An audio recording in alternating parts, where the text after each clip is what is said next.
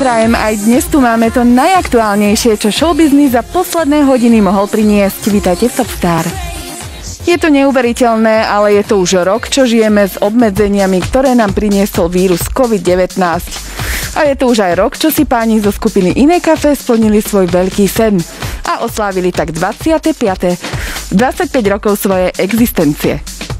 Herečka Judita Hansman aktuálne nakrúca pre našu televíziu novopripravovaný seriál Nemocnica, v ktorom stvárni hlavnú sestru na urgente. V súkromí jej ale veľmi chýba dcéra.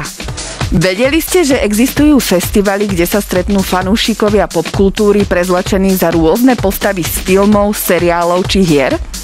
Volajú sa cosplayery. A aj na Slovensku sú ľudia, ktorí sa tejto záľube venujú.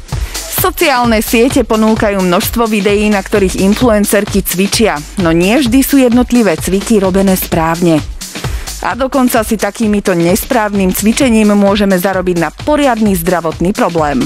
Milí diváci, ja sa s vami na chvíľu lúčim, pretože ma už čakajú mamičkovské povinnosti. Ostaňte verní Topstaru, vidíme sa opäť a dovtedy zatiaľ dovidenia.